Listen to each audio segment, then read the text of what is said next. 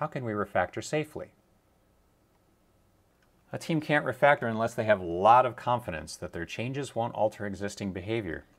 And the only way to know that is to have a comprehensive and very fast test suite. I call this test suite the safety net because that's essentially what it is. It's protecting the software developers from breaking their own product.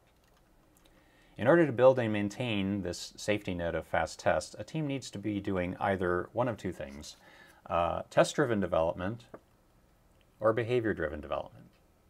These practices are often called test-first practices because we write a single test scenario and we work to get that working before we move on to writing another test, one test at a time, or one scenario at a time in the case of behavior-driven development. Folks always ask me why the team can't write the tests after coding. Also, probably a topic for another day, but for now, suffice it to say that because they usually don't. Uh, when teams put off testing until after they're done, they usually run into a time crunch and testing suffers. Uh, besides, if the costs are equal between test first and test after, then what difference does it really make to the team? Might as well do them first. And it's, it's far more subtle than that. Uh, there are advantages to test first approaches because they're actually, uh, there's sort of a thought process we have to decide what it is that we want our software to do, and instead of just deciding and then telling it how to do it, we actually describe what it is that we want to happen before we create the software that completes that. So whereas refactoring is the core solution, test-driven development and behavior-driven development are the core activities of a smoothly running agile software team.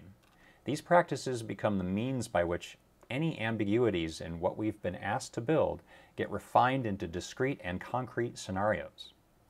Every high-performing Agile software team that I've ever encountered spends most of their day doing one or both of these.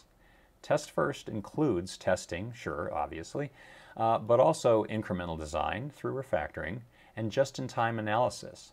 That is, thinking about what is needed and what is not the team is continuously growing the product increment and the safety net around it so that further enhancements and refactorings can happen swiftly and confidently.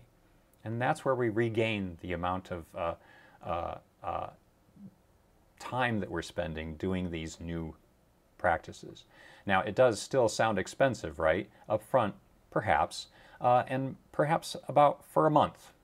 And, uh, but the savings, the cost savings and cost of rework, and the ability to adapt to changing market conditions, those things are priceless.